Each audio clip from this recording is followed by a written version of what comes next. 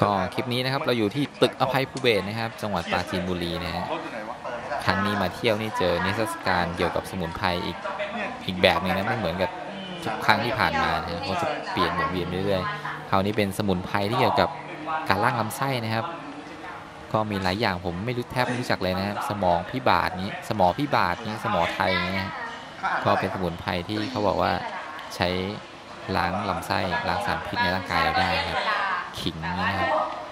อันนี้ก็เป็นอะไรครับ เนื้อในฟักคูณนะขมิ้นอย่างเงี้ยนะครับ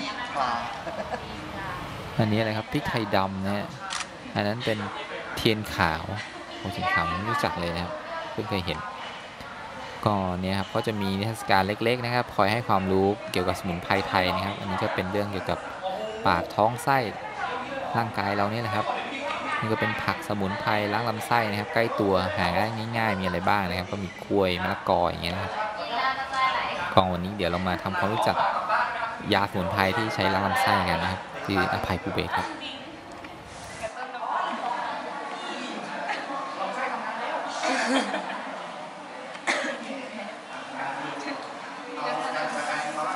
ตอนนี้เขาบอกว่าต้องกินอันนี้เรากินอันนี้ใช้อะไรผสมกับอะไรอะคะค่ะ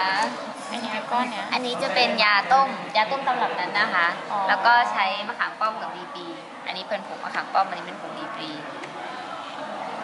เป็นก้อนๆนี้เหรอคะค่ะ แล้วก็มีน้ำผึ้งด้วยอันนี้เพื่อช่วยอะไรอะคะชำระล้างพวกเมือกมันในลำไส้อะค่ะทำให้ลำไส้เราสะอาดขึ้น อะไรคนที่มีปัญหาเรื่องการท้องผูกอะไรอย่างเงี้ยค่ะ มันจะชอบมีสารพิษมีสัมของเสียสะสมอยู่ อ๋อแล้วต้องกินทุกวันไหมอะไม่ไม่ไม่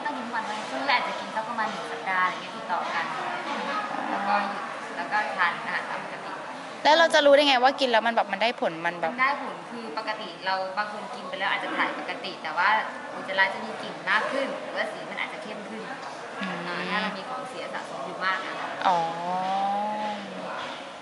แล้วแต่คนธาตุหนักธาตุเบาด้วยค่ะ อันนี้มีขายที่อภัยภูเบศรด้วยหรือเปล่าคะ มีถ้าถ้าเป็นรูปแบบทั่วไปจะเป็นยาระบายฝักคูณค่ะ แต่ว่าถ้าสะดวกต้ มก็จะมีเป็นยาล้างลำไส้ที่เป็นชุดต้มอะค่ะ อ๋อ คือต้องซื้อไปต้มเอง ใช่